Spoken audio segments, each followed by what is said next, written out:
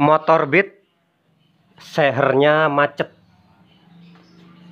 Nah, di sini sudah dipastikan karena sehernya macet pasti melepas blok sehernya pasti susah ya ini blok sehernya macet karena kehabisan oli menyebabkan dia macet karena pelumasan dalam mesinnya habis. Coba ya mekanik bengkel lakukan pembukaan pelan-pelan terlebih dahulu ya.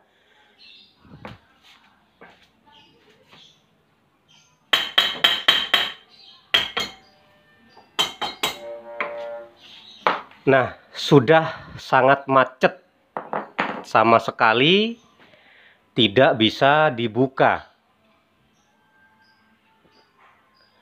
Apabila kita melakukan pemaksaan, misalkan kita melakukan benturan seperti ini, kita ganjel misalnya memakai kunci T ya, dan kita getok seperti ini. Nah, itu akan rentan sirip-sirip pendingin pada bagian blok sehernya itu bisa patah. Apalagi kita lakukan pemaksaan pada saat melakukan pemukulan supaya kena gitu ya. Tuh. Karena macet ya. Nih, misalnya mekanik bengkel lakukan pembenturan pada bagian sirip yang di sana. Karena ini putus, eh sorry, karena ini tipis blok sehernya, sirip-sirip pendinginnya, itu bisa membuat rentan patah, ya. Nih misalnya dari sini, arah sini misalnya ya.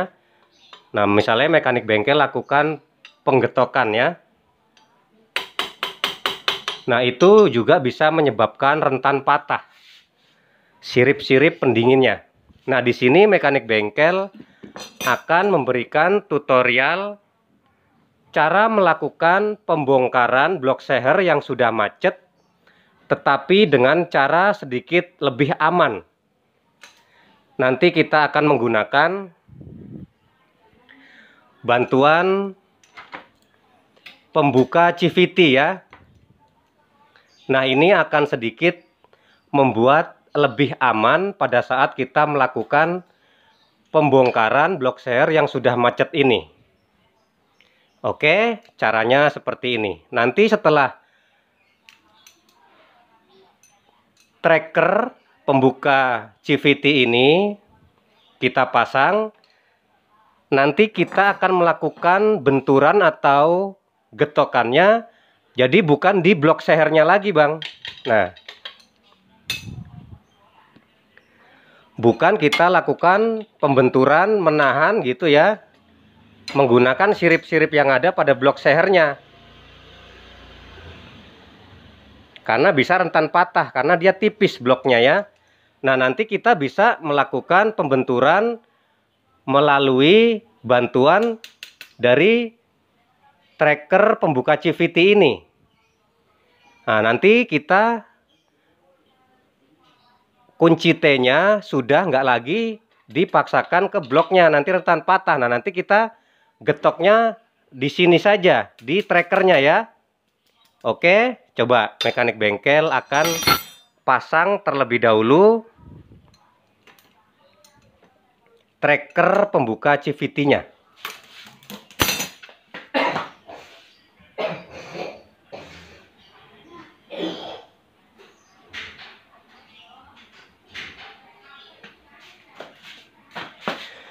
Ini akan membuat aman bloknya. Nanti kita paksa nih ya. Ini sudah sudah susah teman-teman dibuka tuh karena sernya macet. Nanti setelah terlepas bisa kita lihat blok seher dan sehernya seperti apa baretnya. Oke kita pasang terlebih dahulu tracker CVT nya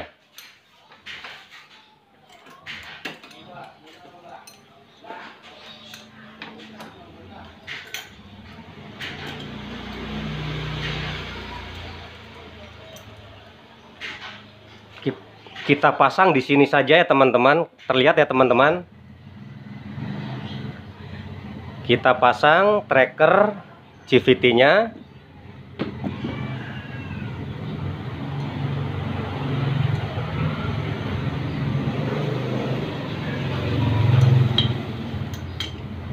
terlihat ya teman-teman ya caranya ya. Ini sangat penting dan bisa membantu untuk nggak merusak blok sehernya bang.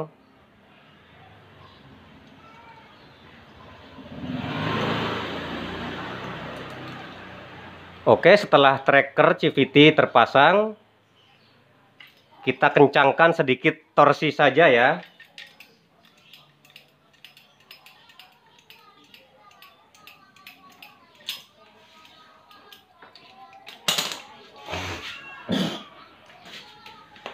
Oke, tracker sudah terpasang. Ya, tracker sudah terpasang. Maka kita bisa melakukan pemaksaan keluar blok seher yang macet ini, tetapi posisi menggetoknya bukan di sirip-sirip pendinginnya. Karena sirip-sirip pendinginnya itu tipis, kalau kita paksa getok, kebanyakan dia itu pecah. Blok sirip-sirip pendinginnya yang ada pada blok seri ini. Nah, kita bisa melakukan penggetokan pada bagian tracker CVT ini. Ya, coba kita nanti coba ya di sini. Nah, yang harusnya di sini kita getoknya di bagian depan, tetapi kita bisa menggetok karena ada penahannya si tracker CVT ini. Ya, coba mekanik bengkel lakukan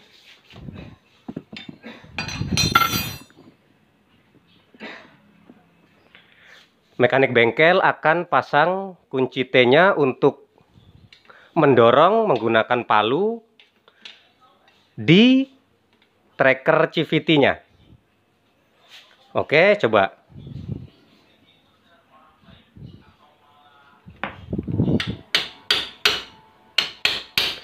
Sedikit-sedikit keluar ya. Blok sehernya yang macet itu akan membuat aman blok sehernya. Ya. Kalau di sini masih miring kita bisa pindah ke sebelah sana ya coba ya. Nih. Jadi nggak merusak blok mesinnya blok sehernya. Oke sedikit-sedikit sudah keluar ya. Nih blok share-nya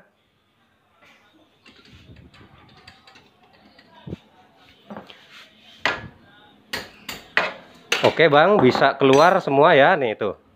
Blok share-nya bisa keluar.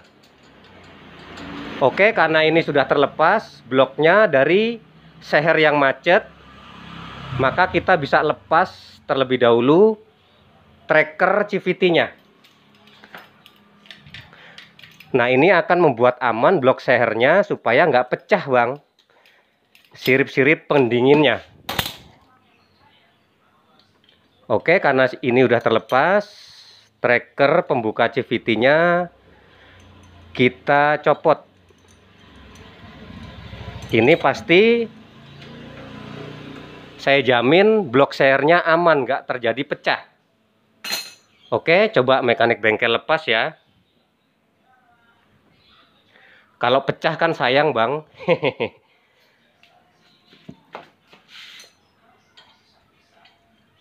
Oke, mudah ya. Tuh, blok sehernya sudah terbuka tanpa merusak sirip-sirip pendingin yang ada pada blok seher. Ini kalau dilihat coba blok sehernya pasti baret-baret parah. Karena macet ya olinya habis. Tuh ya.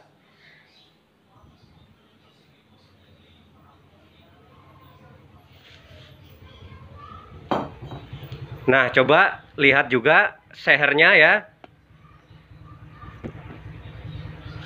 Sehernya pasti baret. Coba mekanik bengkel kedepankan dulu nih sehernya baret-baret ya teman-teman.